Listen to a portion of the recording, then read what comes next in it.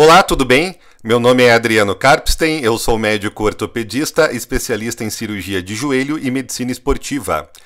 Vou falar sobre o joelho na infância e as pernas tortas. Com alguma frequência, eu atendo no consultório pais que me trazem seus filhos para uma avaliação dos joelhos. Segundo esses pais, os seus filhos têm os joelhos tortos e eles têm medo de que essa deformidade aumente ainda mais com o crescimento da criança.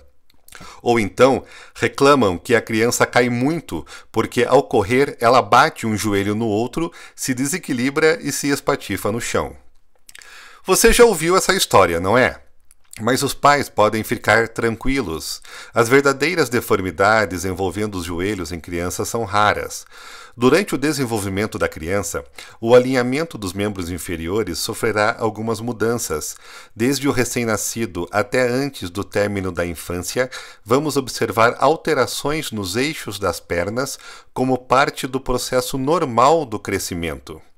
Mas antes de explicar essas modificações, que são absolutamente normais, eu quero ensinar para você dois termos médicos: genovalgo e genovaro. Genovaro é o nome que damos quando as pernas parecem arqueadas, os joelhos estão afastados e os tornozelos estão mais juntos. É a perna do cowboy.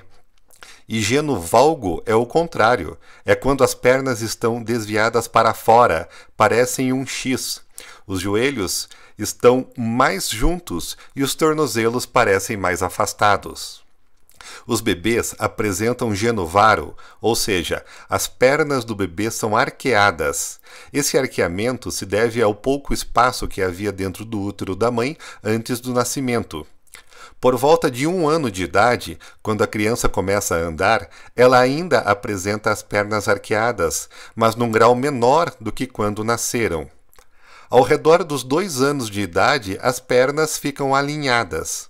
A partir de então, a coisa se inverte. As pernas parecem começar a entortar para fora, ficando parecidas com um X. Isso vai aumentando até os quatro anos de idade. Geralmente é nessa fase que os pais aflitos trazem as crianças para serem avaliadas, porque o valgismo pode chegar até 15 graus. Dos 4 aos 7 anos de idade, o valgismo irá regredir. Aos 7 anos, ele atingirá a angulação definitiva, que é de 5 graus nos homens e de 7 graus nas mulheres. A minha sugestão é que os pais, em caso de dúvidas, consultem sempre um médico ortopedista pediátrico ou um ortopedista especialista em joelho para uma avaliação. Visite o nosso site ou a nossa página no Facebook para saber mais.